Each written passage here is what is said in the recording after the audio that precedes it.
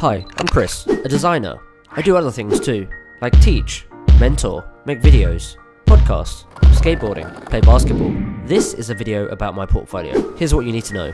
Process. How I design, how I workshop, and how I think about skills. Design. Some old work, some new work. Written. Some articles I've written over the years. About. My experience, my achievements, and what others say about me. You can also download my resume. And finally, other interests. So now what? Go through the material, and if you're still interested, here's what I'm thinking. This is what I want in my next role. I don't want to focus on interaction design. I want to nurture the culture. I want to grow the people. I want to be strategic. I want to make a big impact. I want to focus on the business, product, and the design.